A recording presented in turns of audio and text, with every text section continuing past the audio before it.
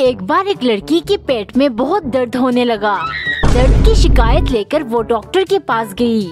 Doctor ने उससे पूछा, खाने में क्या खाया था?